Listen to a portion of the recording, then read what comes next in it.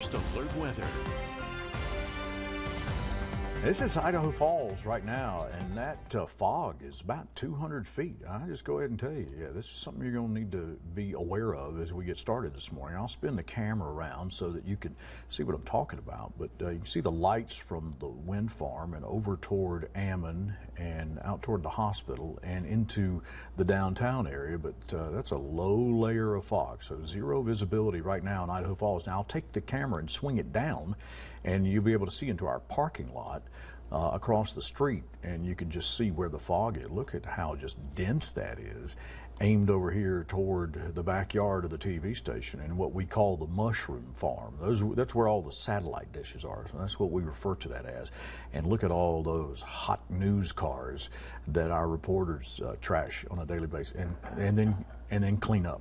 Uh, yeah, to make sure you clean up. So yeah, this is the this is the we call this a mushroom farm because all the satellite dishes. But you can see how foggy it is when you look down that way, and then you come above the clouds up here to about 200 feet. So zero visibility in Idaho Falls, and then look at the stars.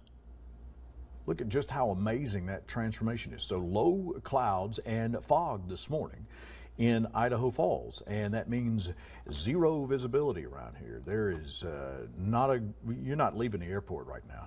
I'll go ahead and tell you that. And uh, limited visibility into some of those highlighted areas, uh, but mainly around IF and down toward uh, Shelley and Firth and Rose. It will be foggy this morning, so give yourself a little extra time. You may just want to take a minute till we get some sunlight in here too, if you have uh, that luxury. Some of us have to be work in the middle of the night before the crack and uh, things are going to be uh, a little chilly today too. Head outdoors, Blackfoot driving. That lava rock hadn't moved yet. There may be some fog just past.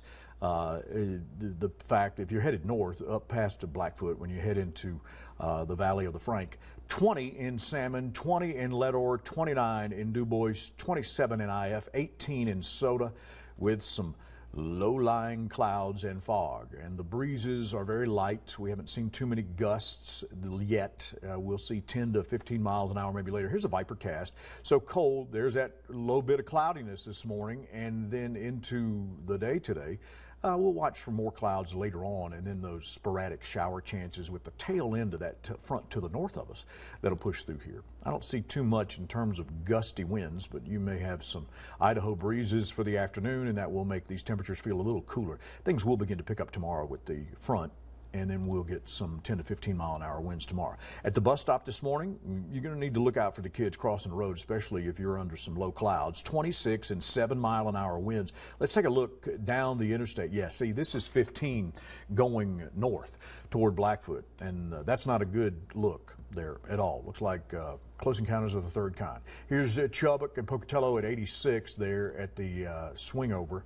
And we've done away with that uh, lane crossover, which is a good thing. But you can see the low clouds and maybe some fogginess there around Pocatello. Uh, Jackson at the top of the hill, nobody's in line because we're just not ready yet. But it's coming down. Most of us are in the 20s this morning. It's a little warmer there in that pocket uh, up toward Rexburg at 31 degrees, 19 in Jackson, 14 in Soda. The wind chills this morning is shaking you down to 5 in Pinedale.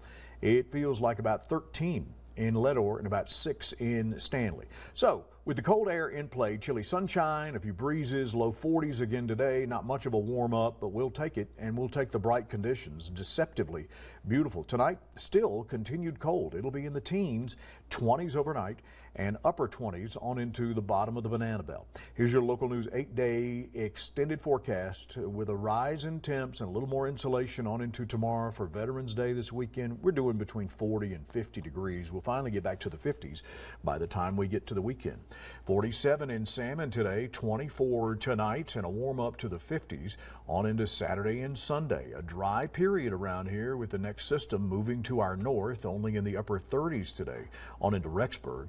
24 tonight. It'll be in the low 40s for Jackson, and then continued overcast uh, with some clouds moving with that next associated front, but still in the teens overnight. 45 for the Gate City today, and down to 27 if you're on the new trail use your sunglasses. 41 NIF down to 23 tonight, and a few more breezes with a few more clouds on into Friday. Mid 40s through Veterans Day. Dylan Carter. All right, thank you, Jeff. In your consumer news this morning.